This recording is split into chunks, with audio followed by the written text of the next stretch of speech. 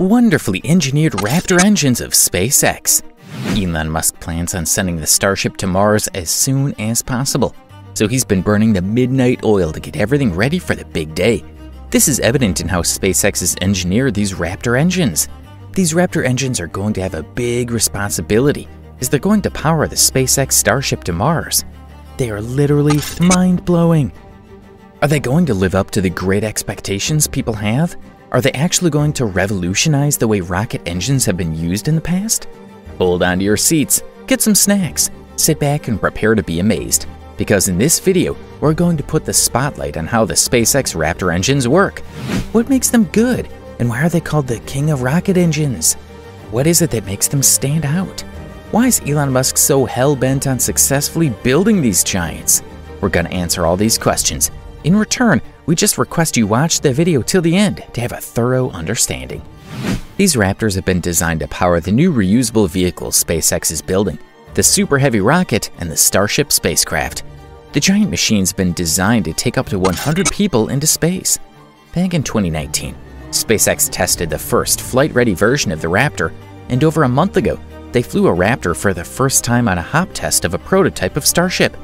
There is no other rocket out there that can produce as much energy through liquid methane and liquid oxygen. The Starship is nothing without its Raptor engines. They produce the thrust to help the Starship escape the Earth's gravitational pull and propel it on its interplanetary journeys. The thrust they produce has to be enormous, as the Starship is meant to lift heavy payloads of up to 100 tons. First, they developed Falcon 9, also known as F9. Falcon 9 is powered by the Merlin engine, developed in-house by SpaceX.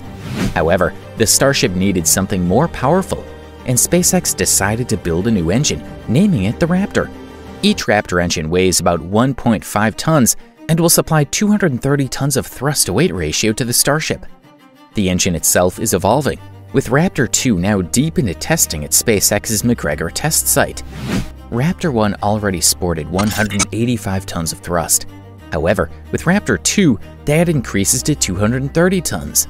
Raptor 2 is, as Musk said, greatly simplified while increasing thrust, half the cost at more thrust. The current peak thrust R2 operated at is 247 tons, so SpaceX is confident 250 will be achieved, which is obviously essential in making SS work. The visual changes between Raptor V1 and V2 are apparent, with less cabling and plumbing around the engine. The Raptor uses a full-flow staged combustion engine. This is only the third engine in history to have employed this technique. On the other hand, Merlin uses the more common cycle system. Such engines were tested for the first time back in the 1960s by the Soviet Union, and then again in the 2000s by the US. However, they unfortunately did not make it beyond testing.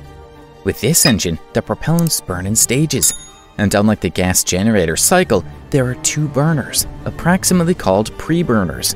One is fuel-rich and the other is oxidizer-rich. The fuel-rich pre-burner powers the fuel pump, while the oxidizer-rich pre-burner powers the oxidizer pump.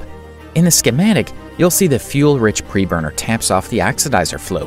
So a lot of fuel passes through this pre-burner, but very little oxidizer, and vice versa for the oxidizer-rich pre-burner. This in return produces mostly unburned vaporized propellant, and this is exactly what they want.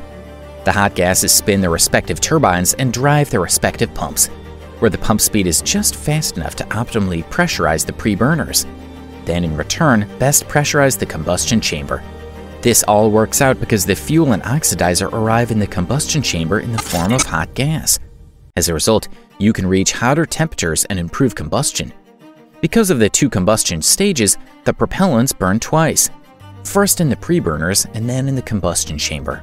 In the pre-burners, the propellant burns at a lower efficiency, just enough to produce the required amount of energy to spin the turbines at the ideal speed, because you don't want to turn the turbines into a soup from high temperatures. In the combustion chamber, their propellant burns at max efficiency, producing max thrust. And to top it off, no propellant goes to waste so the engine maximizes the extraction of energy from all its propellant. This makes this engine ideal for high-power rocket applications. In short, a rocket built with SpaceX Raptor engines can more easily climb Earth's gravity well. The Raptor's major innovation over its predecessor is the use of methane, which takes us back to SpaceX's ultimate goal.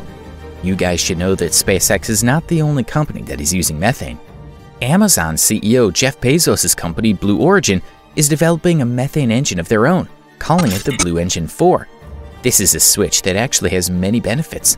In the past, rocket engines have relied on using fossil fuels like kerosene, which is now being replaced by methane. If you're wondering what's so amazing about using methane, well, it has a higher performance as compared to rocket fuels that have been used in the past.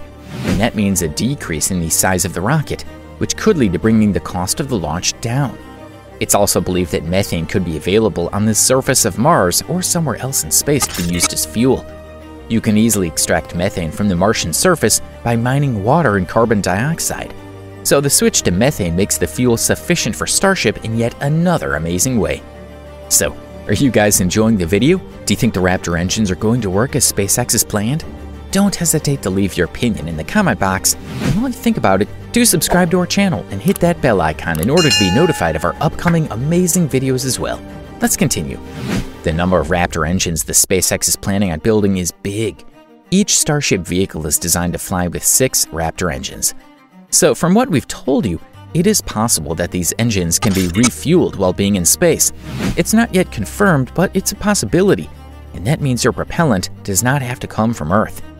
With the gas generator cycle engine, there's a potential for leaks.